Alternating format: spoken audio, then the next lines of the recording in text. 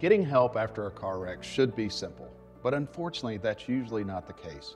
Insurance companies aren't there to take care of you, neither is the at fault driver. But we'll make it easier for you. Don't wait until it's too late. Give us a call and we'll handle the rest.